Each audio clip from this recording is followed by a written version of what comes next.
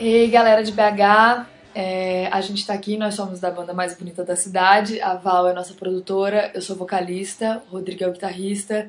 Infelizmente, a gente ainda tá em Curitiba, quando na verdade era pra gente estar tá aí em BH, almoçando no Mercado Central. Comendo um feijão tropeiro. e passando é, som pro nosso show tão esperado hoje de hoje à noite. A gente tava super feliz com esse show, já tinha algum tempo que a gente tava tentando marcar show aí.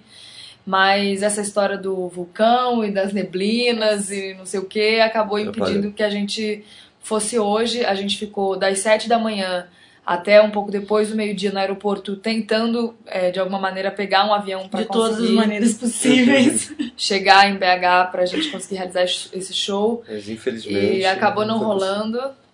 E. Bom. Mas já temos a solução para isso, né?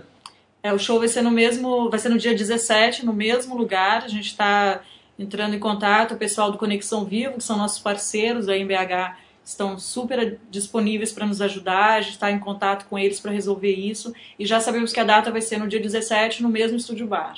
Então, exatamente uma semana após, na próxima sexta-feira. É, a gente vai. Aê, um nem que a gente foi de ônibus, viajar 15 horas, mas a gente vai.